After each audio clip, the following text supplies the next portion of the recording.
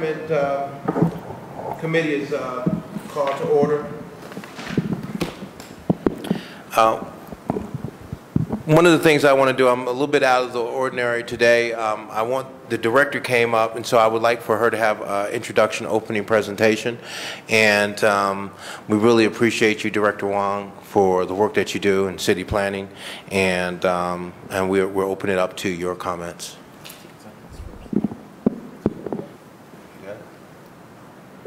Thank you. Thank you, Council Chair. Um, thank you to Councilmember Starr, Councilmember Harsh.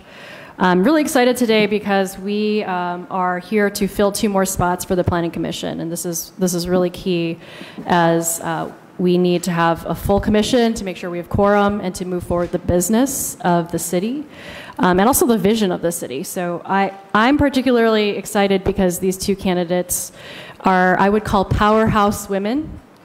Um, you know, when they come up, they, they're able to share their own stories, but I would, I would say that they're, you know, strategic, wise, intentional, civically engaged, globally minded. Um, and, and those are the types of people that we're looking for for our planning commission to really think about Cleveland as a whole, our neighborhoods, and how we could advance the goals of council and advance the goals of the administration. So we, we searched long and hard, um, took many months, um, and uh, Mayor Bibb is very pleased to present these appointees to you today, or potential appointees. Thank you. Excellent. Uh, The committee would like to um, call to the table Marika Clark. Do you want me to step aside or should Yes, stay? you can, yeah, you can, you can step aside. Stay? Or you can, well, no, you can step aside. Let her come on up, Yep, so she won't feel a certain way. Come on. Is it okay if I? Yeah, you, you're fine. Want to thank you for taking your time today to, to be with us this afternoon. And just let you know, don't uh, be intimidated. Sometimes uh, sitting here at these hearings um, uh, causes folks to be intimidated. We want you to be very comfortable. And, um, and we want you to feel at peace. First, I, I'd, I'd had an opportunity to take a look at your resume. Can you give us a little bit of, of your background? Yeah, definitely. Um, well, first of all, thank you so much, uh, Mr. Chair, for giving me the opportunity. And um, just to kind of, I guess, walk through a bit about my background, I think I have a little bit of an unconventional uh, design background. Um, I, I am not originally from the Cleveland area. I grew up in Northern California. Um, but I grew up in a, a very uh, working class family. My father was a union machinist his entire career. My mother was um, a Japanese immigrant. She immigrated to the United States in her late 20s, uh, grew up in Japan. So I'm a dual citizen. Um, so definitely grew up with a very kind of multicultural household. Um, she was a community college teacher her whole career. Um, and you know, but my dad was always a real kind of um, tinkerer. He studied engineering, didn't graduate from college, but um, that was kind of always his passion was making things, and so that was something that he kind of instilled in me. And so I got very interested in um, kind of how we make things and how we change the environments around us from a very young age. Um, I I did my I did a, an architecture class when I was in eighth grade, and um, just got really interested in design even from that young age. Um, ended up um, going across the country to study urban design and urban studies at Brown during my undergrad. Um, I did a uh, year abroad. It was a full year through Columbia Architecture and Planning School, um, a semester in New York, and then a semester in Paris. Um, really learning about kind of um, urban fabric um, in the European context, um, and then decided to apply to architecture school right out of college. But always was really, I think, equally interested in um, sort of urban design, urban fabric, um, but kind of wanted to get that grounding in the actual building design. So um, I did a master's of architecture at Harvard Design School, and then um, while I was in architecture school, I think this is where I kind of veer off in a slightly um, unconventional direction. I um, co founded a uh, design nonprofit called Mass Design Group while I was um, in grad school. Took a year off in the middle of my architecture degree um, and lived in Rwanda working on um, the design of a district hospital with a nonprofit called Partners in Health. So um, I spent quite a bit of time going back and forth to Rwanda. Dr. Paul Farmer recently passed, which was a tragedy. Um, there, there's a um, famous book um, about him called Mountains Beyond Mountains. But I was, you know, very lucky to be able to spend a lot of time in that context, and um, it's been very interesting actually during the COVID pandemic because um, that district hospital was really designed to try to combat um, the spread of tuberculosis, which is also an airborne infection. And so we were really thinking about some of the same things with COVID of eliminating interior hallways, trying to get as much fresh air into the building as possible, trying to think about different ways to design wards and um, how to um, give patients who are recovering access to fresh air, access to views, to nature, to beauty. Um, and that was a very formative experience for me. Um, when I came back from Rwanda and the hospital had finished and opened and was seeing patients, I really started to get interested also in um, things that design could do beyond architecture itself. And so um, I learned about a large design strategy firm called IDEO, which is a global firm. They have offices around um, Europe and Asia as well as throughout the United States. Um, and I ended up doing a fellowship um, at the nonprofit arm of IDEO, which was just launching called IDEO.org. So I did that um, out in San Francisco, and that was really another kind of learning curve for me of learning about the process of design thinking, human centered design, how design can be used to answer many questions beyond only um, building envelopes. Um, and so from there, I worked on a number of different types of projects around early childhood education, around sanitation, um, across many um, fields. And um, sorry, very long-winded way of saying I ended up moving to Cleveland um, because, to be very honest, I had started um, dating my now husband um, and was, uh, you know, gently convinced to try out Cleveland. I did not have any connection to Cleveland. that was back in 2012, um, so 10 years ago. And have really fallen in love with the community in Cleveland, um, the friendliness and warmth of people here, and the ability to really um, be entrepreneurial and creative, and um, have found it to be a place where people are very supportive of. If you have an idea, they'll help you make it happen. And so, um, while in Cleveland, I have kind of combined these different backgrounds. So I'm doing design consulting still with IDEO.org and a number of other different, um, very international focused nonprofits and foundations, and also working on um, development and placemaking projects um, with my uh, partner. So, kind of piecing together a lot of different things, um, which is what I like doing best. That was very long. It, it was, but that's so it, that's okay. It gave us a little bit about your background um, and kind of brought us all the way up to why you're here in the city of Cleveland. Um, since the Planning uh, Commission is um, charged with making Cleveland and its neighborhoods communities of choice, um, how would you describe a community of choice? Um, I think a place that provides for the diversity of people that would live in a neighborhood, a place that um, allows people to kind of pursue their best selves and gives them opportunities, um, that allows people to thrive, raise families, um, pursue careers that they are passionate about, and um, is a place that people would would choose to live and that um, is a place that kind of we could be proud of on a nationwide or an international scale, I guess. And, and how would you uh, contribute to uh, developing these communities of choice uh, in your role on the Planning Commission?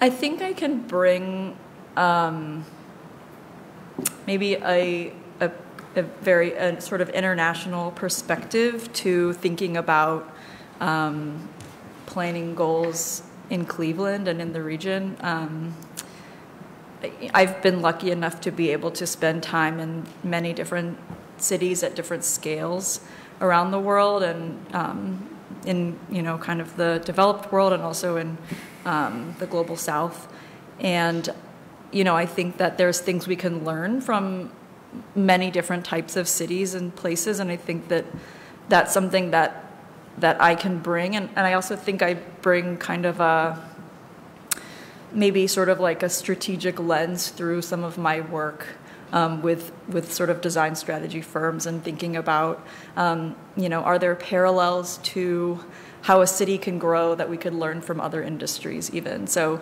I feel like I have a very broad view of kind of design and planning as a whole and um, could kind of bring that to bear on um, communities in Cleveland.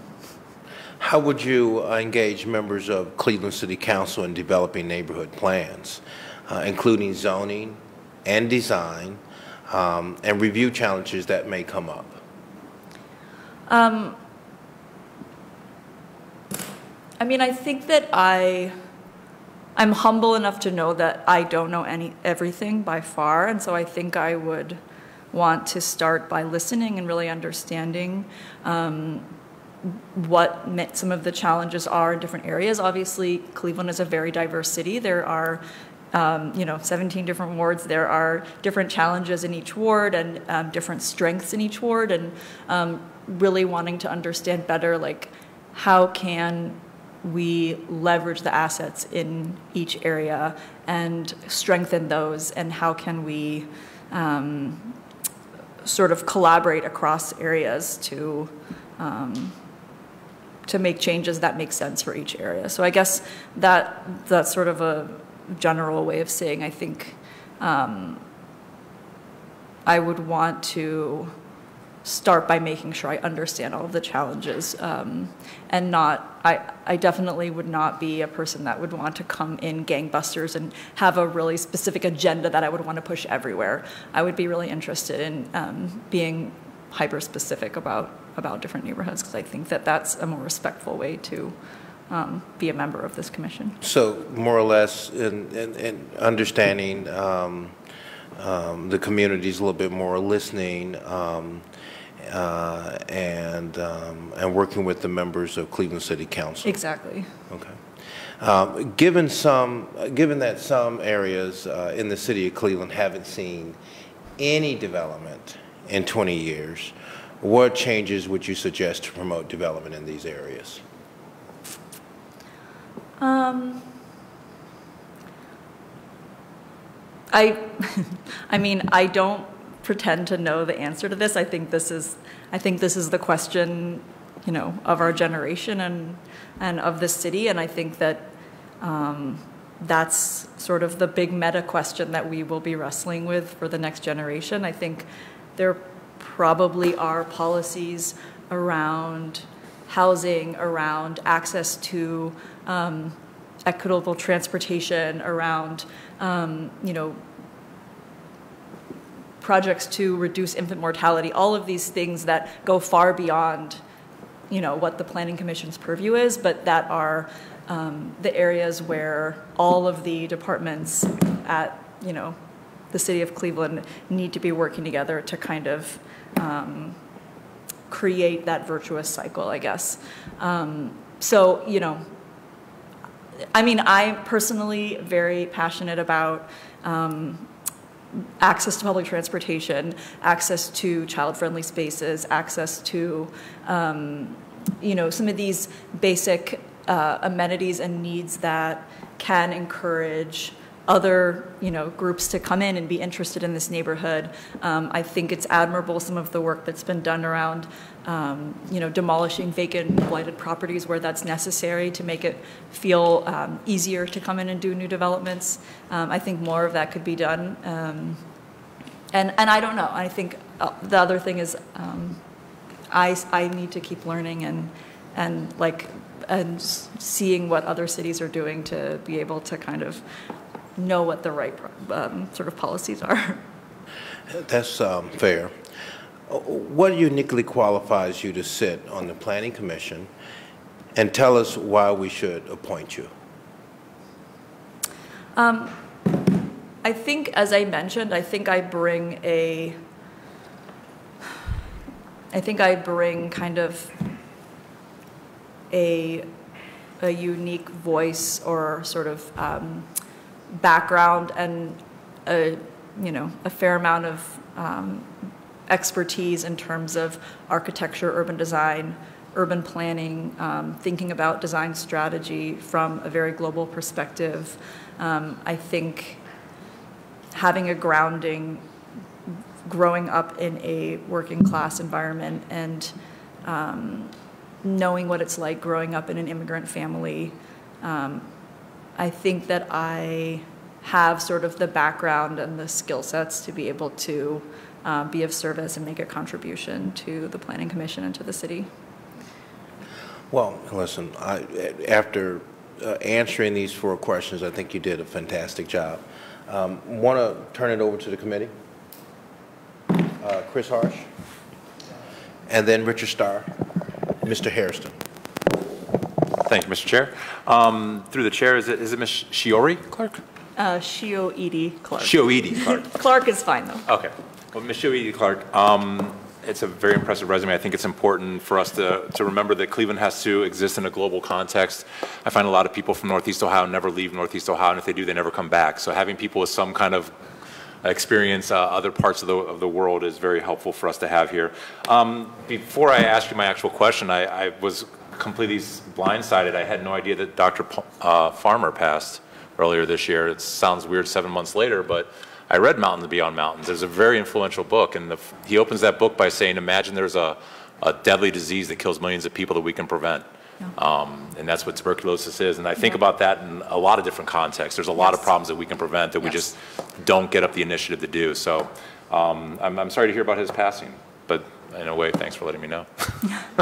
Yeah, I think it was, um, it was a huge tragedy and a loss to the field of public health, but um, I think also, ironically, I think a lot more people learned about his work and his legacy after his passing, so hopefully his work, and I know his work passes on through all the people that he worked with. yeah, it was, was uh, an incredible person.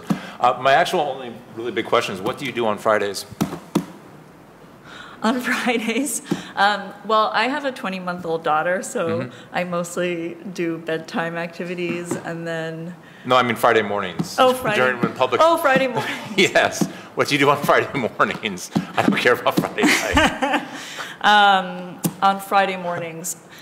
I, I'm privileged to have a fairly flexible schedule, so I'm able to kind of focus my work when I need to. So um, my Friday mornings are, as of now, open. Okay, um, because uh, I assume that you're, you're, you're, you're still working, I think, at, at Hingetown? Is that correct? Yeah, yep, yeah, working on projects there. And so they're, they're, because Planning Commission meets on Friday mornings, I- if I recall. So they're okay with you having most of the morning to do this? Because those meetings can last five, six, seven hours. They can go for a while. Um, I have spoken to Director Huang about this, about the schedule, and I feel comfortable with it. Thank you, through the chair. Oh, okay. I, I ask because I can't sit through all of them sometimes. Um, okay, and um, that was my only that was my only question. I just I want to make sure that, that you've got the availability for it because it's it's a really important work. Um, it takes a lot of nuance and time, and uh, we get into the weeds uh, down at City Hall, and that's our job is to get into the weeds and, and pick up every rock and look under everything and, and figure out every aspect. And so that's it's good to know that you have the time for that. And I, I don't know that I mentioned, I also currently sit on Ohio City Historic Design Review, so I am somewhat familiar with the structure of at least the design review portion of Planning Commission's work. Great. Thank you. Thank you, Councilman. Chairman recognize uh, Richard Starr. Thank you, Chair and uh, Committee for um, this appointment hearing. Obviously, we have some candidates here that are looking to join the City Planning Commission, correct? All right. And Chair to the table, Ms. Clark, right? Yes. I want to make sure I say it correctly. Um, I have just a few questions, and um, what are your short-term what are your long-term and short-term goals? Chair to Ms. Clark. Short-term and long-term goals. Um, well, I think I don't know. I mean, to be honest, I don't know that I have really specific long-term goals. I think um, my short-term and long-term goals um, are to be working on projects that are meaningful to me, to be um, working towards um, doing what I can, doing my part in, um, you know, building up and um, improving, or I guess increasing sort of the vibrancy of the city of Cleveland. I, you know, I mentioned I split my time between working on projects in Cleveland um, as well as doing um, design consulting projects that have a more international focus. So um, I see that continuing. And, um,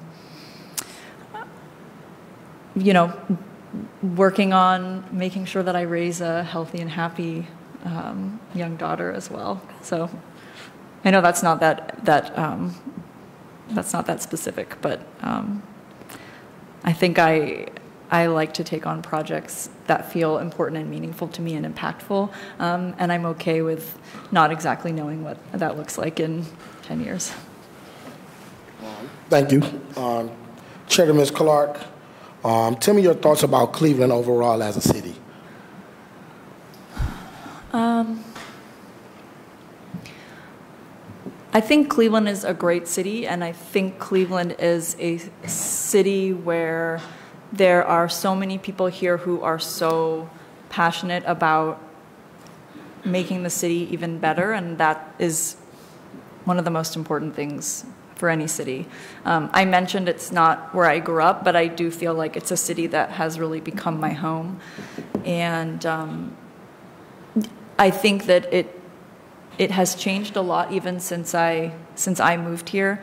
Um, I lived here for 10 years. For the first few years that I lived here, I still had my California license plate, and I or not license plate, driver's license. And I remember um, when I would be at Hopkins showing them my ID, and people would be like, "Oh my God, why do you live in Cleveland?" Like, go back to California.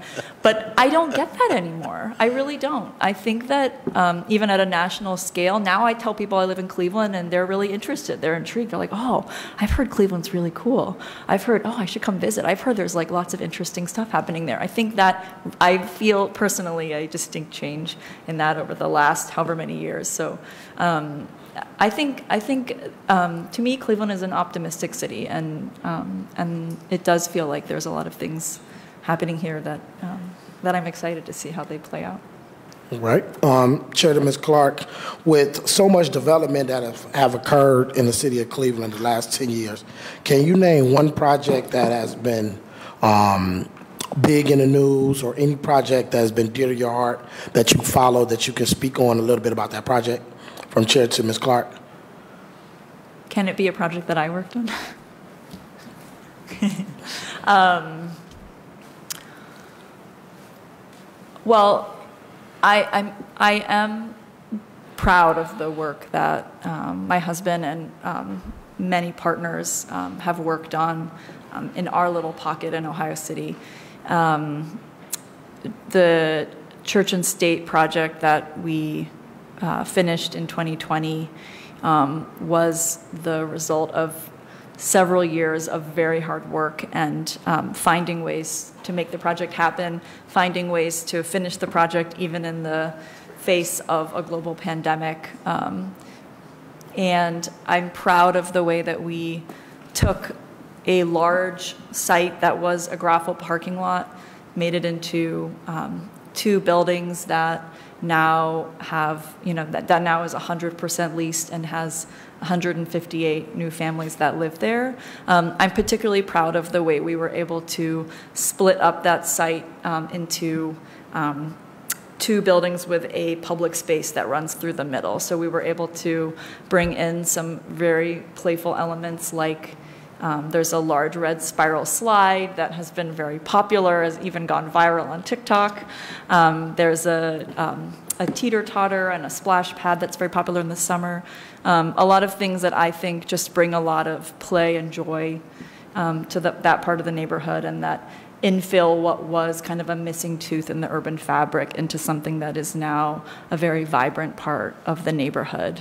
Um, we were also able to use a lot of natural materials. Um, we brought in a really beautiful slate material, um, um, used a lot of sort of um, material contrast on the facade.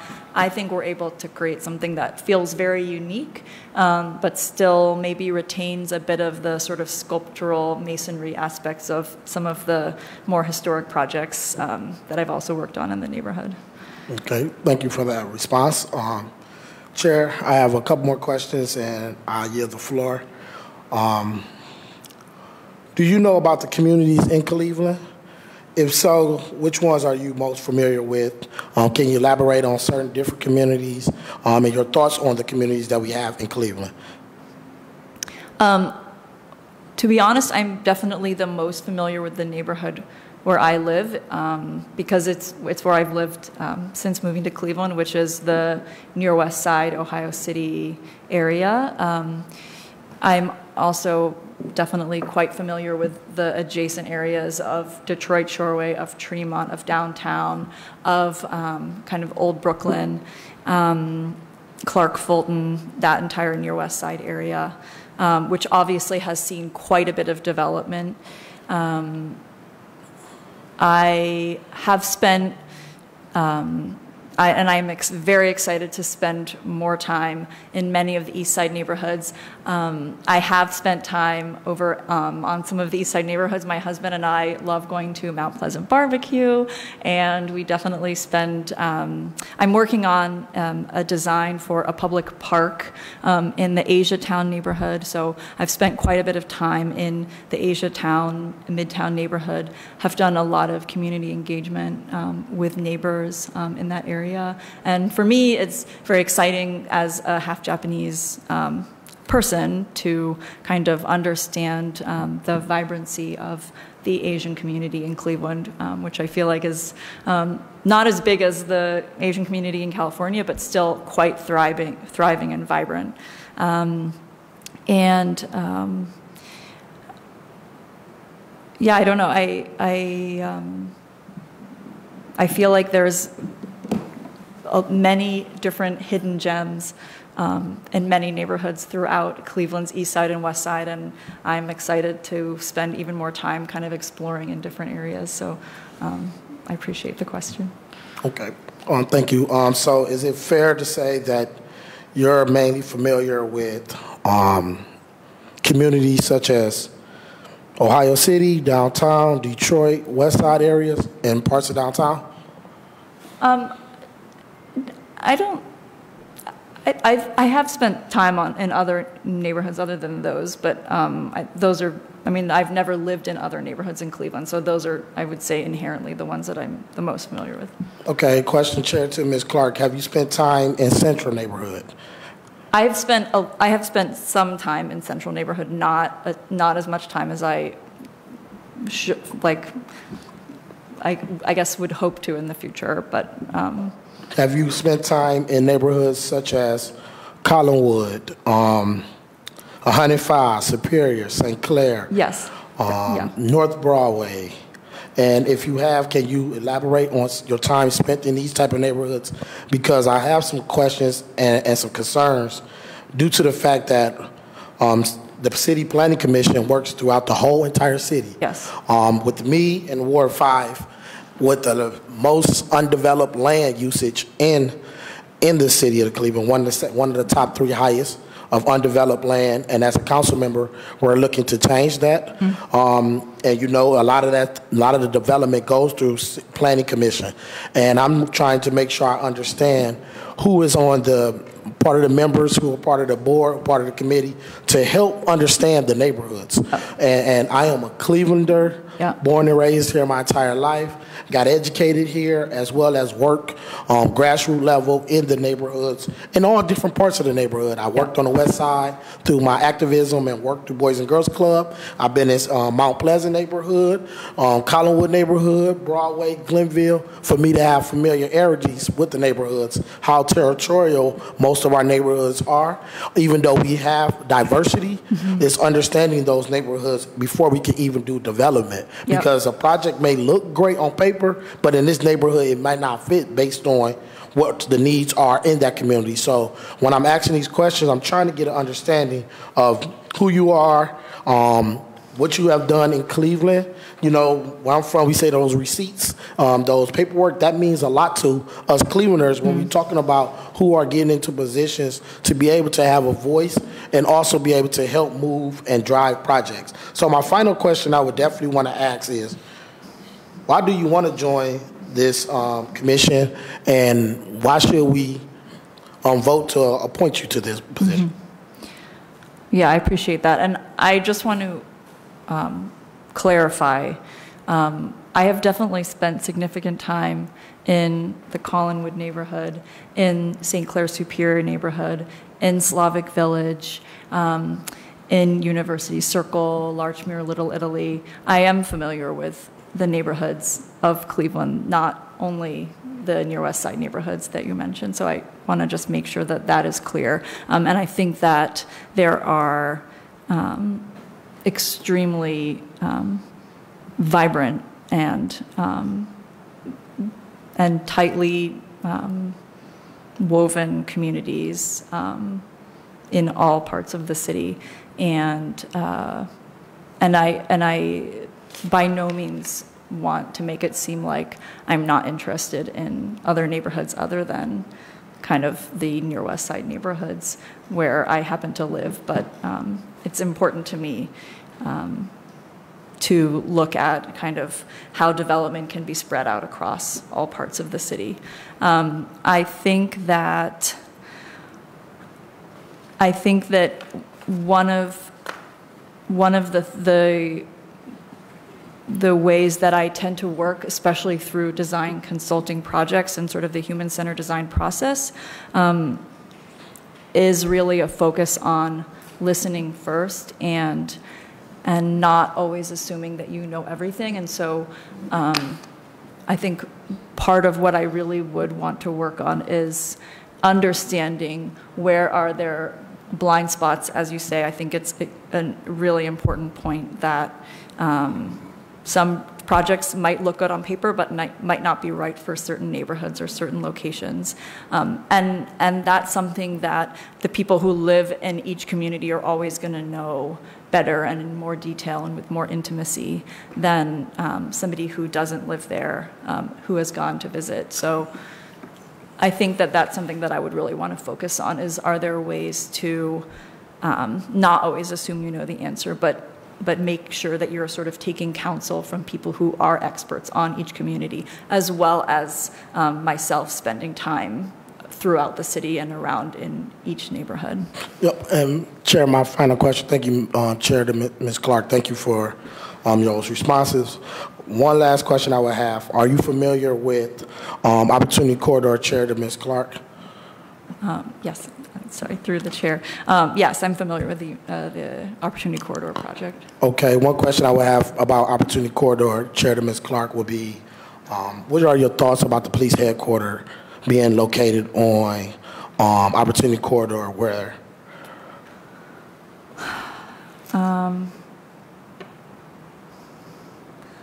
If you don't know, you can say you're not familiar, I'm- so. I'm sorry, I'm not, I'm not, I don't think I'm familiar enough to, to speak on that and have a really strong opinion on it, but I'm happy to do more research on it and, and come back with a better opinion. No problem. Thank you. Thank you, Chair. I yield. Thank you, um, um, Councilman Starr. The the chair recognizes uh, Anthony Hairston. Thank you, uh, Mr. Chair. I'll be, uh, I won't be too long. Um, is it Miss Clark or Mrs. Clark? Mrs. Mrs. Clark. All right. I won't try to pronounce the uh, your, your, the other part of your last name, so please forgive me, Mrs. Clark. Uh, thank you for being here. Uh, just a few questions. Uh, I see under your name you have social impact designer. Can you elaborate? Uh, yes. Um, so it, it really refers to kind of the the process of using design to um, look at social impact questions or social impact areas. I mentioned um, working on um, consulting across a number of different fields. So. Um, I have worked, for instance, I spent about a year working with the International Rescue Committee looking at um, how to um, bring early childhood education classes and activities to families living in the Syrian response region. So I spent quite a bit of time um, in refugee camps in uh, Lebanon and Jordan looking at that. I worked on a, um, I worked with a sanitation startup in Ghana that um, was looking at how to bring low-cost sanitation services to families where there's not actually a sewer grid um, through many parts of um, urban areas in Ghana. So just a couple of examples of different ways that design can kind of be brought to bear to um, look at um, solutions or um, or ways to address uh, questions that might um, otherwise continue to be sort of burdens on different communities. Interesting. Thank you. Um, I recently interacted with another individual who uh, is a social impact designer, and their um, thoughtfulness. Um, I won't say the projects because they're still working on them. You know, was kind of unique when I when I interacted with them. So I, I saw it under your name, and so I said I thought I'd ask, you know, what it, what it, your experiences have been Yes. um, around that. Through the chair to uh, Mrs. Clark, you also mentioned in your remarks that you believe your international, um, I won't say adventures, but your international work uh, makes you a, a unique candidate uh, for this position. Can you explain to the committee and those who are watching what about your international experiences you believe you know makes you fit for this role on planning commission? What, what do you what do you think that brings to the uh, to the planning commission, if anything, Mr. Chair, to Mrs. Clark? through the chair. Um, I, I think that um, it's important to, when thinking about how cities grow and develop, um, I think it's important to be able to um, have an understanding maybe of best practices that have been tried in other cities around the world and around the country, um, and and being able to see where um, I think everything from transit systems to um, ways to look at childcare, early childhood development, to um, play spaces, to public art, to um, approaches to public education. There are so many areas where um, we can learn from other cities, and and um, you know that's not to say that whatever's happening in some other country is inherently better than what's happening here. That's certainly not true. But um, I think that um, it can only benefit us to have as wide as possible of a reach in terms of where we can look for um, inspiration and references and things that maybe we can borrow and look at um, how we can um, shape new ideas for projects or policies or initiatives that that could kind of improve communities and the urban fabric in Cleveland. So um, I don't I don't know that I have really specific examples, but I think, for instance, there's a lot of really um, interesting ways that different cities have handled protected bike lanes, public transit systems, um, bicycle infrastructure specifically. Um, and, and I think that's the case through many different other realms of sort of urban life where, um, where it just can be helpful to see what, what people have really embraced around the world. Sure, thank you for that. Through the chair to Mrs. Clark, you just mentioned one of my one of my points that I was thinking is that urban life can look like many different things in many different places, and so I just wanted to hear from you because you have experienced urban life in many different settings, not only in the U.S. but abroad, and so wanted to hear kind of your thoughts around what you have taken away from those experiences, what you have learned, what you have seen, and how, and, and what that impact looks like if you are if you are appointed to uh, the planning commission. So I appreciate uh, your answer, and, and you also mentioned you have a unique skill set. What are those? What, through the chair to Mrs. Clark, can you explain what that unique skill set is that you believe that you bring to the committee? Uh, yeah. Um, through the chair um, to the councilman. Um, I, I was referring to um, having kind of a dual background between um, having an architecture and urban design background as well as having a more design strategy, design thinking background. Um, I think that that is somewhat unusual. Usually, um, people who study architecture stay in architecture or at the you know the most maybe would venture into landscape architecture or urban design, whereas many of the colleagues who I work with um, at um, the sort of more design strategy organizations might tend to have either a business background or um, an industrial design or graphic design background. So it's really pulling from a very different a type of person with a different um, type of education. So I think that I'm privileged to be able to um, spend time with work colleagues that come from a wide array of backgrounds and so can kind of learn from a broader, maybe sphere of design related um, influences than if I only had a background in architecture or urban design. Sure. Okay, thank you. I, I just wanted to hear what those unique skill sets were. You know, you have a lot of information and a lot of uh, just kind of you shared a lot of your experiences on your resume. Um, you've done a lot of lot of lot of things. I'll say that, um, and just wanted to kind of bring it all together to have a better, uh, a more um, uh, intentional understanding about you know your experiences. Um, lastly. Mr. Chair, um, to Mrs. Clark. You mentioned that your interaction with the Planning Commission has been solely around your involvement on the Ohio City Landmarks Committee. Is that correct, Mr. through the chair?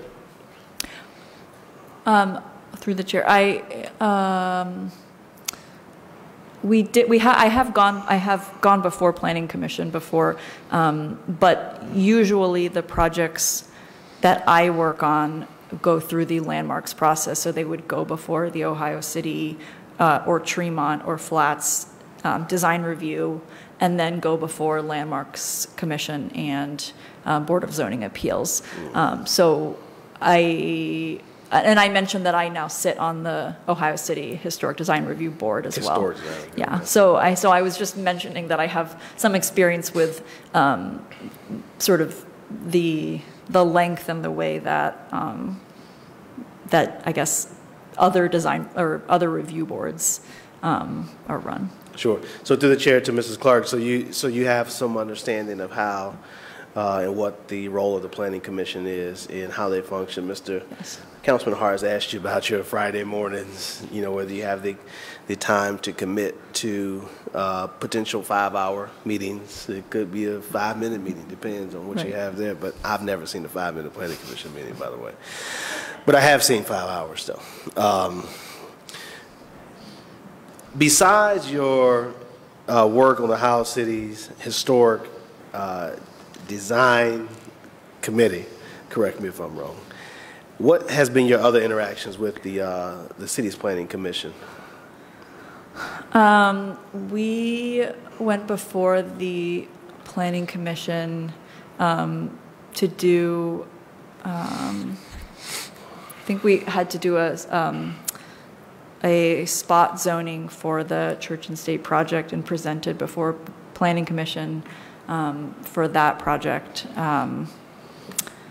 Um, I believe that's the only time that we had to actually, that I had to actually directly interact with Planning Commission. There may have been one other time, but as I mentioned, usually it's always through the landmarks process. Sure, thank you, uh, Mrs. Clark and Mr. Chair. Uh, w- Did you ask to be a part of the planning commission or someone approached you to be a part of this commission? How did this come about?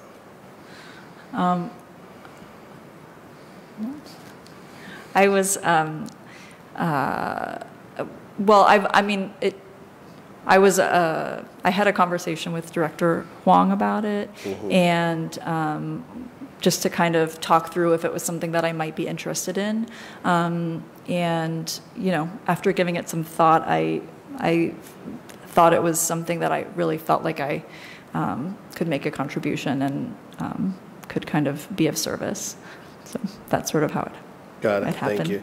And lastly, Mr. Chair, um, because of your uh, constant interaction with the Landmarks Commission and uh, the role that you play now by sitting on that his, Ohio City Historic Review Committee. Did you consider maybe serving on the Landmark, Landmarks Commission versus the Planning Commission? Or you are okay with serving on this role? Do you, do you, do you, would you prefer to be there versus here?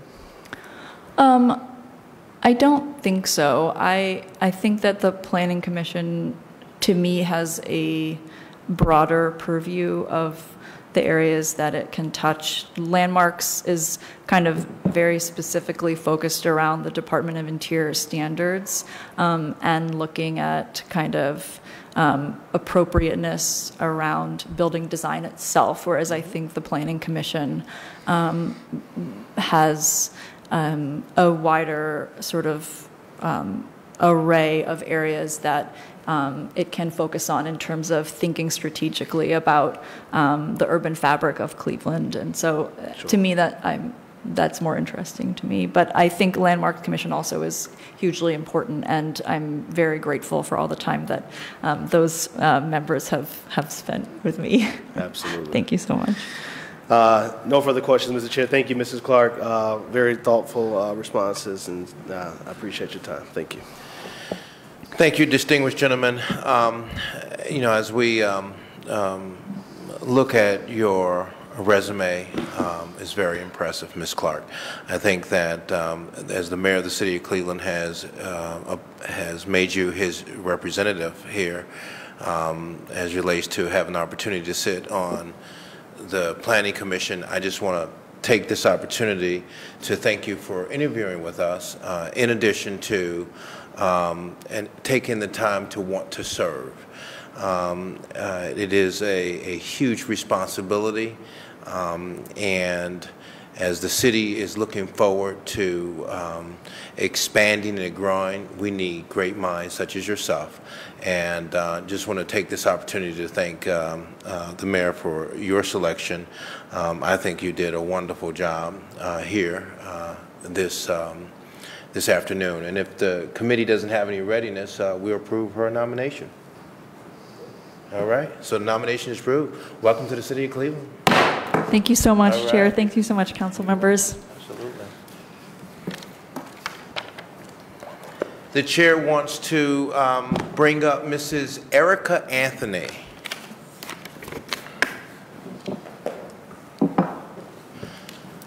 Good afternoon. Good afternoon, Mrs. Anthony. I want to just take the time to say, you know, as you go through this interview process as one of the mayor's appointments uh, to the Planning Commission, um, that don't be intimidated by the group here. Um, uh, it, you know, sometimes it can be kind of intimidating to sit here and, and go through the interview process.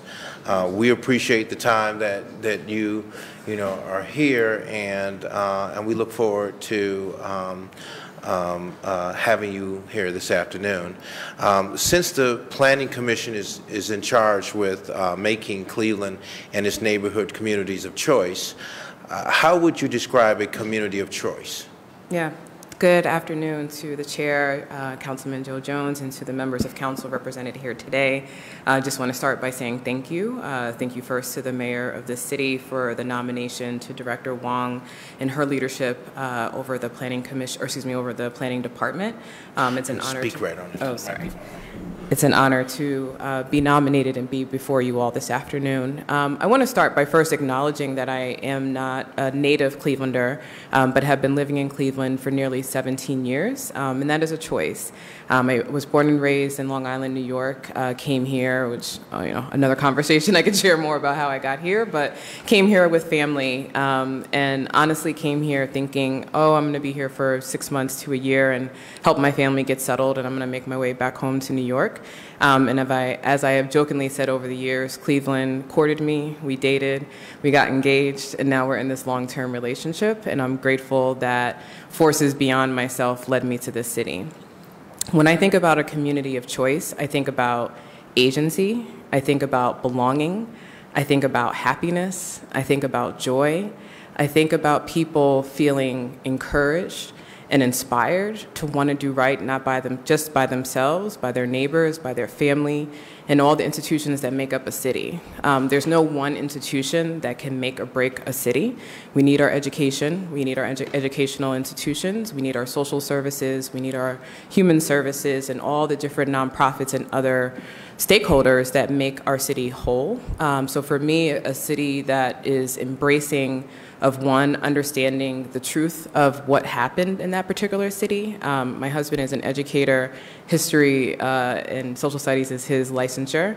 Um, so I've learned a lot from him over the last 15 plus years, and in many ways, I can say I have gained a greater appreciation for history. Maybe not as much as I had in my schooling, um, but I think history is really important. Um, I think reconciling and having truthful, sometimes uh, radically honest conversations can help move us forward. Um, people's feelings are their feelings, um, and we have to honor that, whether it's a, a, previous, you know, sort of situation that may have occurred in a neighborhood or a present day issue. We have to honor the diversity of truths that make up the, the residents of our community. Um, it's not about me saying it's right or wrong, um, but it's about me listening and making sure that I have an authentic understanding of what that person's perspective or that community's perspective is about what is a neighborhood choice of, for themselves. So I shared with you what, what my qualities and qualifications are, but I think it's important that we uh, create an open space to continually receive that input um, because it changes, right? It looks different for every person in our city.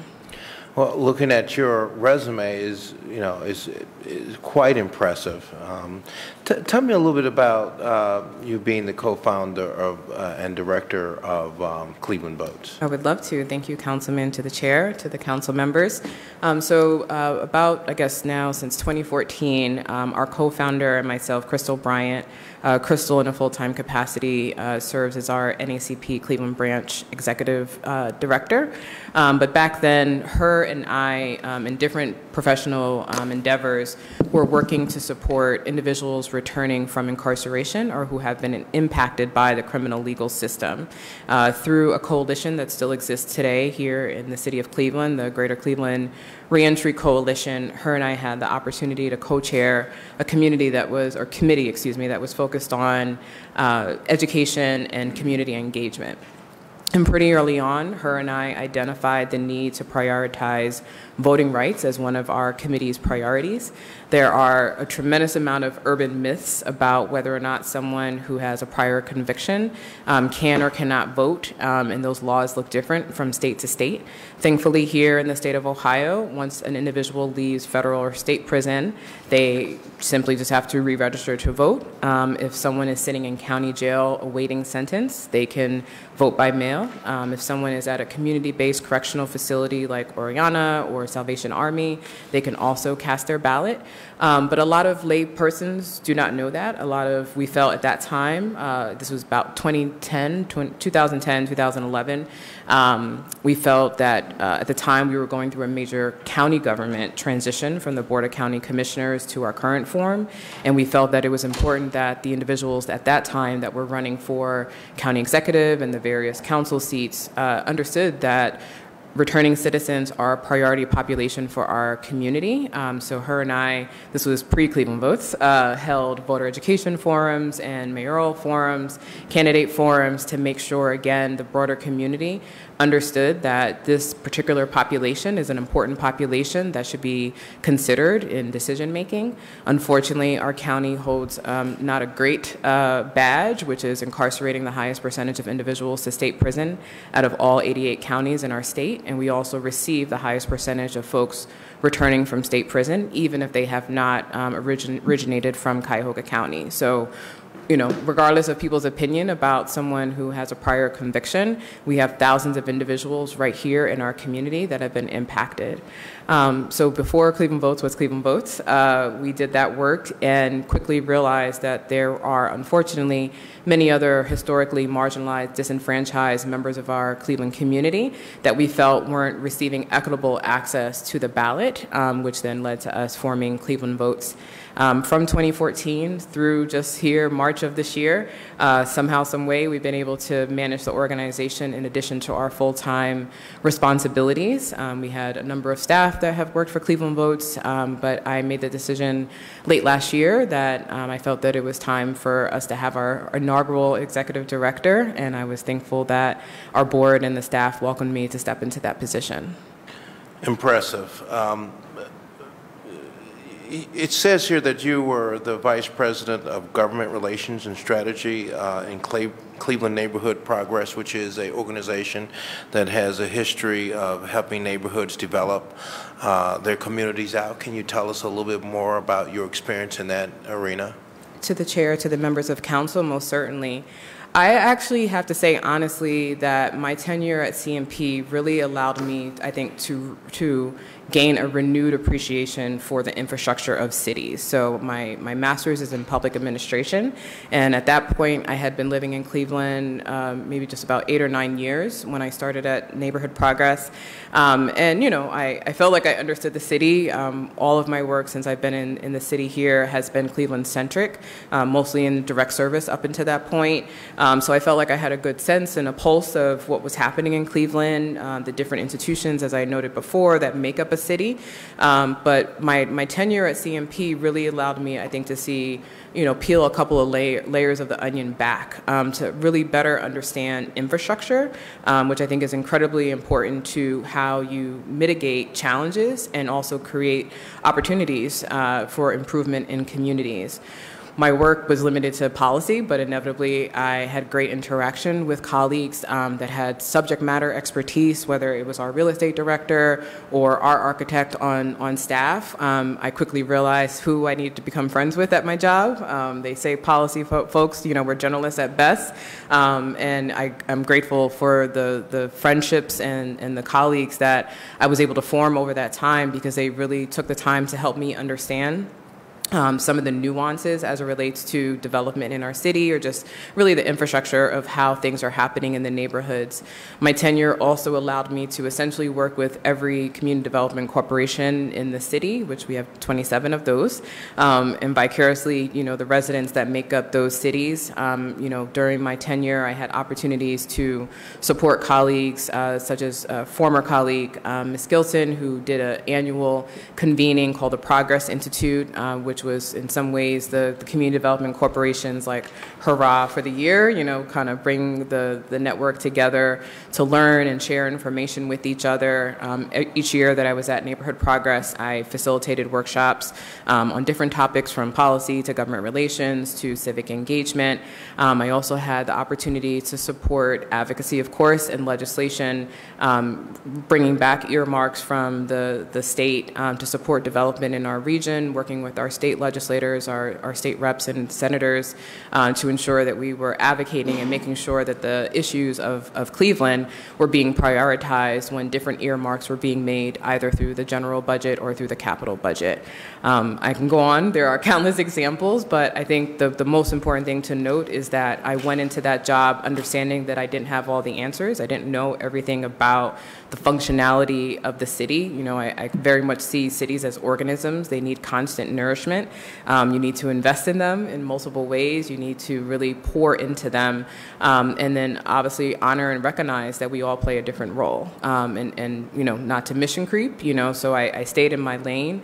Um, but I'm grateful for the colleagues that allowed me to increase my knowledge and my capacity in really understanding some of these nuanced ways of operating and functioning in a city. You also secured um, over $1 million. Talk about that. Yeah. As uh, as being a representative there. For sure, um, and of course, nothing is ever done done on on my own. Um, in partnership and collaboration with my colleagues at the time, um, there were a number of different projects over my tenure at CNP that we advocated uh, to receive earmarks. Um, for those that may not know, uh, Cleveland Neighborhood Progress uh, was pivotal in redeveloping the St. the former St. Luke's Hospital, uh, which is now the current headquarters of a number of institutions, including uh, the St. Luke's Foundation and, and Cleveland Neighborhood Progress and the Boys and Girls Club. That was before my tenure uh, that, that that work and, and actual development occurred, um, but there was still lots of opportunity around uh, the physical building as well as the building in itself. Um, so there was legislation and earmarks that we were able to secure to improve the RTA station, uh, which sits on 116th and Shaker Boulevard, as an example. Um, I believe in my last year we were able to work with our state delegation uh, to secure resources for the Britt Oval, uh, which is the green space that sits uh, just, I guess, north of the St. Luke's campus. Um, to ensure that we were maintaining that green space. Um, since then, there's been a lot of development, uh, new townhomes that have gone up. Those were in the works while I was at CNP, but the actual construction um, didn't start until after I left Neighborhood Progress. Um, but we were intentional through our engagement with residents in the neighborhood, both the residents that were currently living in some of the housing surrounding that green space, as well as others in the Buckeye Shaker area, um, to talk about, you know, what do you want to come of this space? Um, I could actually recall uh, a charrette session that my colleague at the time, Mr. Mortensen, led uh, with students from Boys and Girls Club, residents from the senior living facility, and other folks. And I just remember sitting there listening to the kids, particularly, um, who had these just outlandish ideas about how to use the green space. Like, we should have a carousel, or we should have this, and we should have that. Um, and while many of the projects obviously were not feasible for that space, um, I think it's just really important to encourage that imagination, right, and really har- harness the energy that, that folks bring to understand that just because I want this particular thing doesn't mean that can impact an com- entire community.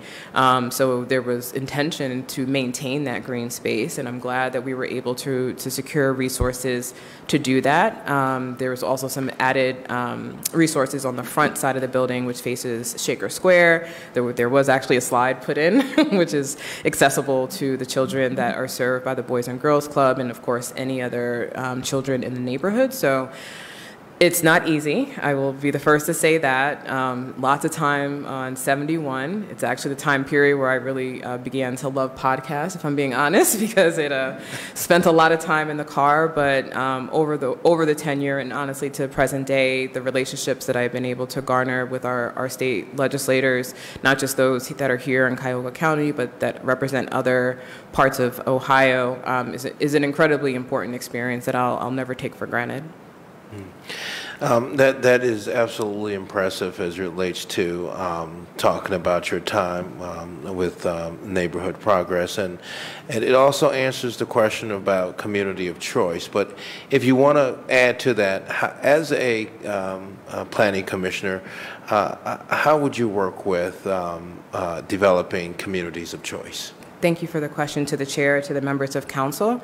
I, honestly, I think it has to start by listening. Um, you know, I've had diverse experience as far as the type of organizations, the type of populations that I've engaged in, um, but it's it's a ongoing life journey. Um, whether it's through the direct service work I did at the Center for Families and Children, which is in Councilman Starr's ward, uh, to the work I did at Oriana House, uh, working again with those individuals returning from incarceration, or to the dozens. Uh, maybe- Is that in Starr's Ward too? It's right on the border. I think, I believe it's Ward 7 technically. Uh, so Councilman, uh, Councilwoman, excuse me, Howse. Um, so, you know, I think the, the populations that I've had the great fortune of working with give me the humility to understand that I don't have all the answers. Um, but I'm also very inquisitive. Um, you can ask my, my parents. I was the why child. Uh, many of us were. But why are we doing it like this? And why are we doing it like that? Um, but I think that that desire to understand, you know, starts as a child um, and has continued to grow over the years. I'm incredibly inquisitive. I don't take anything for granted that just because it occurred this way, that it needs to continue that way.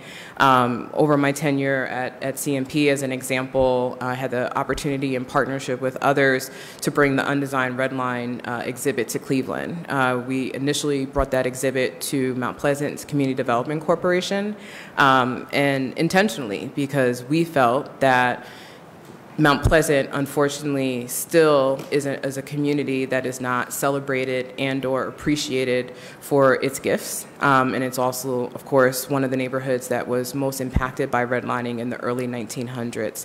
Um, the success, if you can call it that, not that the topic was successful as far as like us wanting to talk about redlining, but there was an overwhelming response from community. Um, elders came out, you know, individuals from the neighborhood came out. And I think one of the most impactful conversations I had was with a, a mature gentleman uh, who, who shared with me that he had gratitude for us putting this on the front line in, in many ways in his community, but more importantly, to give him the, the, the, lexicon, the language. He's like, I didn't know about these terms, you know, I didn't know about these policies that occurred, you know, from the 1900s, obviously, to present day, but I, I know what my family has experienced. I know what my grandparents, my you know great grandparents, what they experienced, and now you've given me the agency, the power, the language to actually be able to talk about this in a thoughtful way. You know, we were also very intentional in bringing that to the West Side, right? Because Logic would You say, brought the same project to the west side in terms of Mm-hmm. redlining as well? Yeah, so it was the same exhibit. Um, we ended up making it a mobile exhibit. So it was, it still actually is technically at Mount Pleasant, but we had another version made that became a mobile exhibit.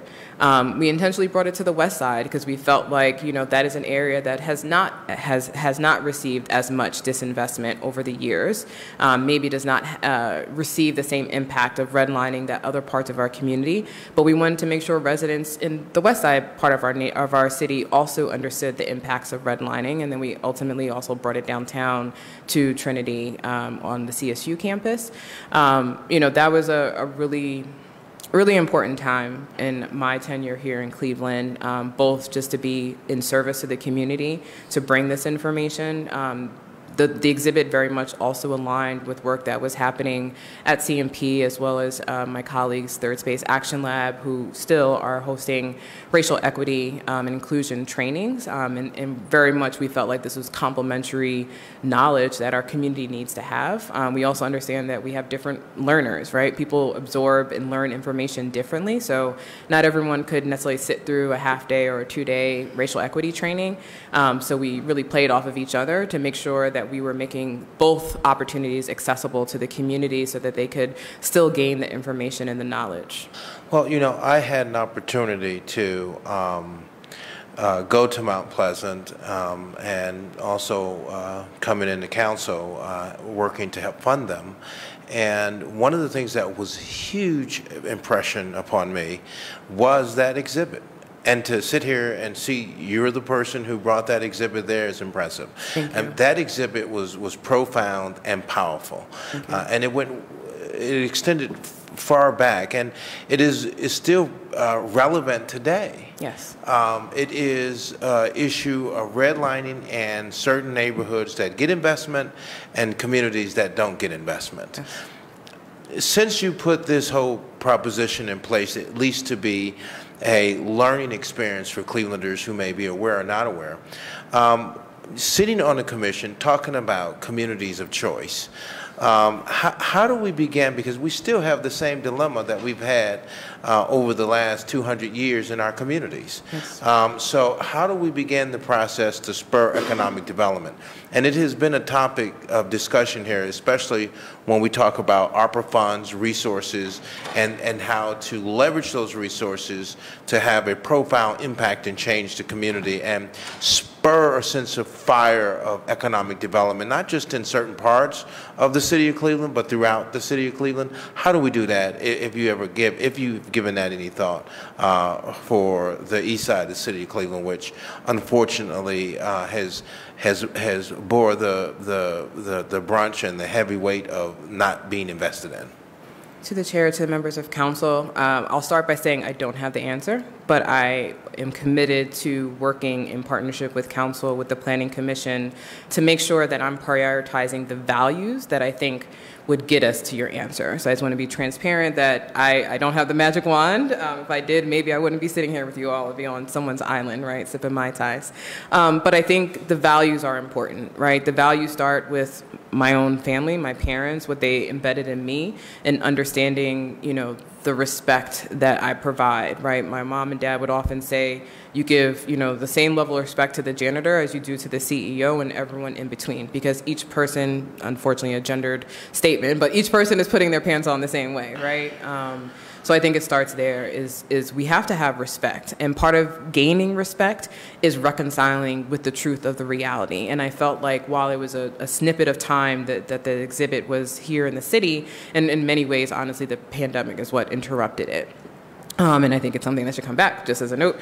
Um, but I think you know, really, it gave the grounding to say this this was our reality, and this is our reality, right? As you just noted, Chairman, uh, redlining has remanifested itself in a multitude of ways, right? What we're feeling, what we're feeling right now, are things like digital redlining, right? That that term wasn't even a thing 10, 20 years ago, but we know that lack of broadband access for the members of our city um, is a huge issue. Um, you know, we saw this particularly exacerbated, of course, during the pandemic in ensuring that children who had to be home, obviously remote, uh, for their safety, uh, had access to gain their, their lectures and their curriculum and, and the materials they needed.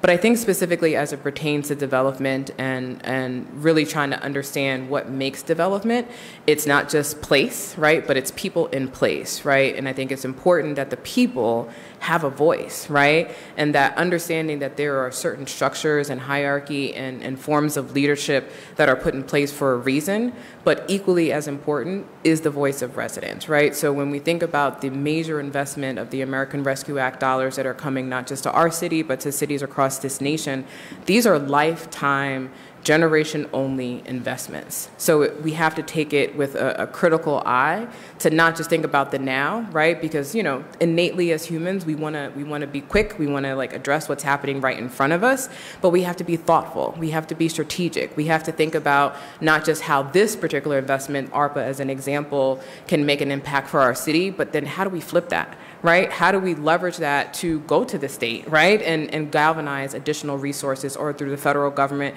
ARPA is just one of many investments that is coming down from the federal level. Um, just, just yesterday, I actually shared with one of the chiefs here in the city administration Department of Education just put out an RFP for, I don't even remember, a couple of million dollar RFP that has just been issued uh, for groups that are specifically looking to invest in um, mental health services for our schools, right?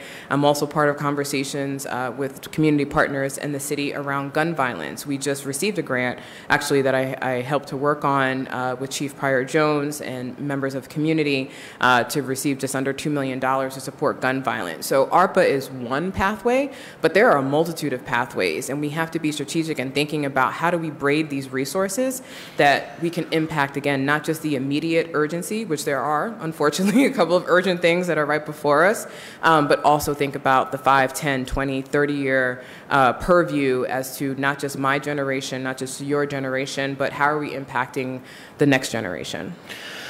And that, that whole role of uh, just rolling all of that in, it sort of kind of answers some of the other questions. So I'm going to move to the direction, you know, council members, um, as relates to uh, how would you engage members of Cleveland City Council uh, in developing neighborhood plans and including zoning and design review challenges uh, that may come up?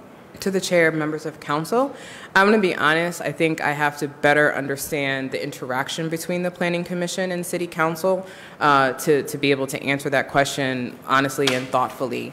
Um, as pending, pending my um, appointment to this commission, I think my first, first and foremost role is to um, spend time, of course, with the planning director, Director Huang, the chair of the Planning Commission, and the other members of, of that commission um, to understand how they've been functioning, how they've been operating, to understand who are the different stakeholders, including members of City Council that they have interacted with, and what is the best way to go about interacting and learning from each other. Um, you know, I think my, my roles in community have availed me the opportunity to work with council members in different capacities. Um, some are newer that I have not, like Councilman Starr, um, Councilman Harsh. Uh, in previous capacities, I've worked with him, but not in his role as council. Um, so I think building relationships, uh, generally, not just because of my role on the Planning Commission, but building relationships with members of council, understanding and listening uh, to the residents in the respective wards. I think uh, while there aren't too many silver linings from the pandemic, I think making meetings accessible virtually um, has at least allowed me to attend more committee meetings, uh, just to be able to listen and to hear. I think uh, community resources like Cleveland Documenters, you know, being able to report on different meetings through different mediums, even through social media. Um, sometimes I can't be present, you know, for a particular committee meeting, um, so I'll go to the Twitter and I'll I'll check out the documenters and you know be able to get a quick snapshot, you know, in case I can't watch the video. So I think for me, it's about understanding the priorities of not just one council person, but council as a whole. Um, but it's also important to understand what is the common vision, right? You may represent a specific ward, you have the specific priorities of your residents as your priority, but you're you're part of a whole, right? And we think about I'm from New York, so I'm going to use a pizza analogy because um, you know we have the best New York pizza. Um, if we think about you know the pieces of, of the pie, right, or a stew or a chili, however analogy you know resonates with you, it's not just about one ingredient, right? Each of you are contributing to making our city a community of choice, right? And within the city each of you have a responsibility of a specific neighborhood, um, but you're only as good as your neighbor. Um, so really, it's thinking about not just the individual priorities of, of a ward, um, but also what is the common vision and what is the common goal that we're seeking for all residents of the city. Given that some areas of the city of Cleveland haven't received any development dollars in, in 20 years, what changes would you suggest to promote development in those areas? To the chair, to the members of council, thank you for the question.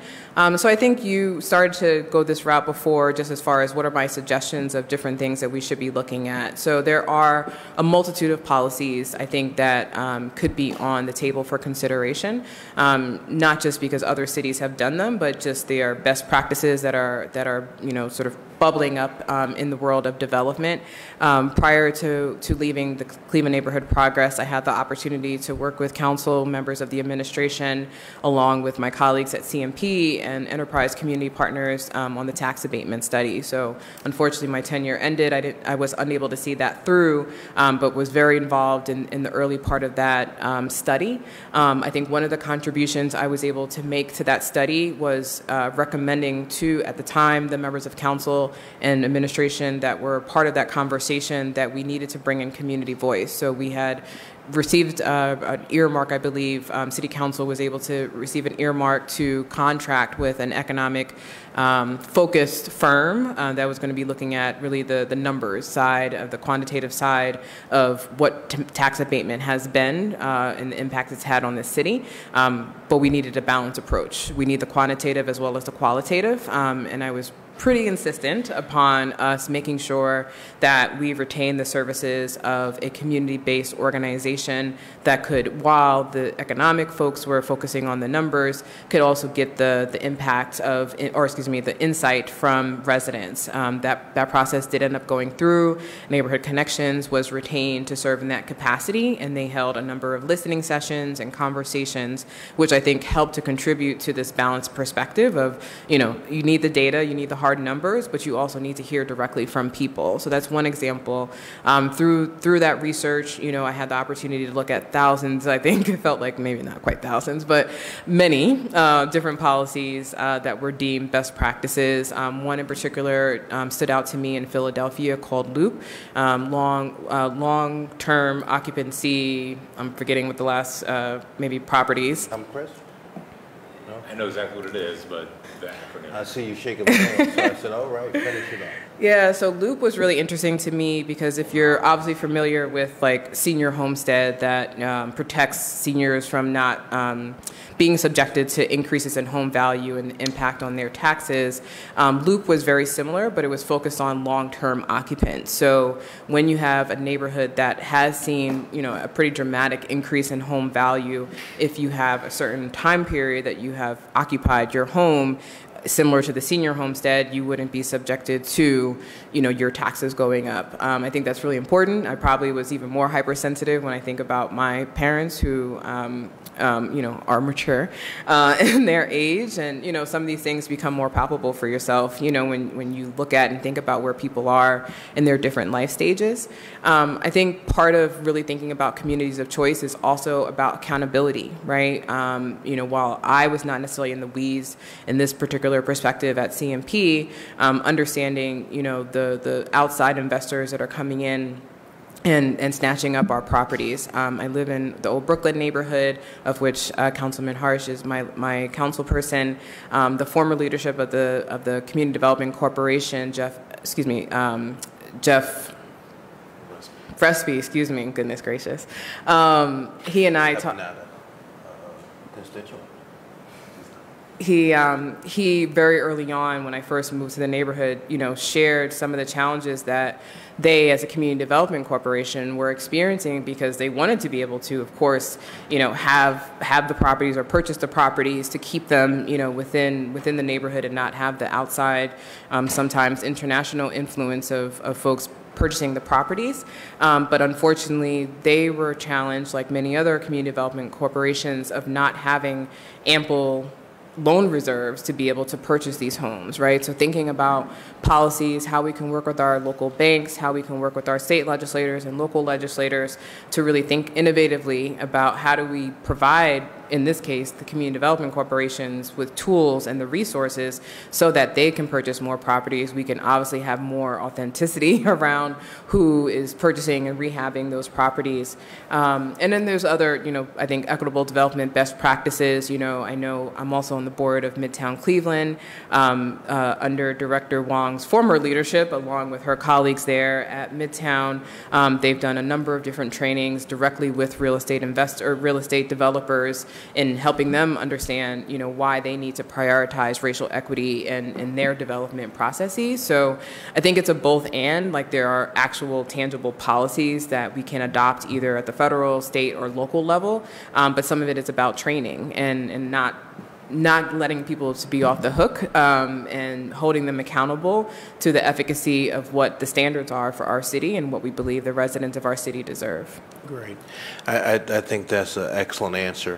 What uniquely qualifies you to sit on the Planning Commission, and tell us why uh, we should appoint you? Through the chair to the members of council, I think first and foremost is that I have a servant heart.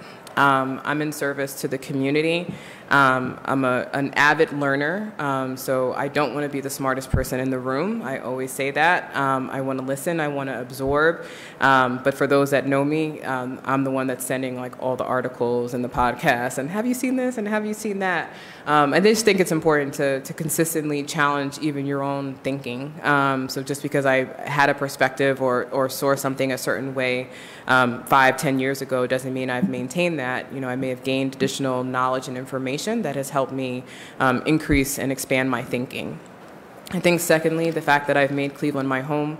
Um, I'm married in Clevelander, if that gives me any bonus points. um, and, you know, have chosen to live in the city. You know, when I first moved here, I, I, went to a suburb because I didn't know anything else, you know, like just really from a recommendation from a colleague at the time.